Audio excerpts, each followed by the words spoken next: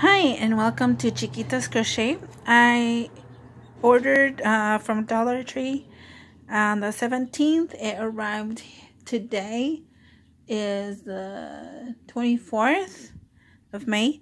And I just wanted to show you real quick how is this um, packaged. It comes with the orange label, obviously. And it says here, process customer pickup at POS register. It it says don't sell. So don't worry, they won't sell it. I'm hoping not. And let me check. Uh, when I went to the register, um, they just printed out the slip, scanned it, and they gave me a little tiny receipt. Let me get it. Hold on.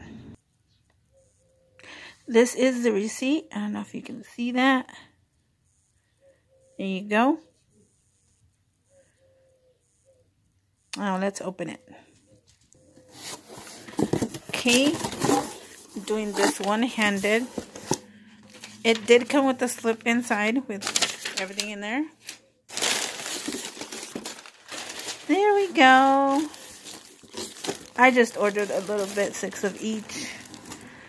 Unforgettable Waves Boutique. Okay.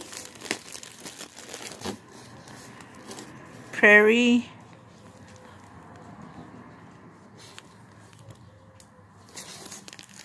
That's that one. Oh, I love this color. Look at Rose.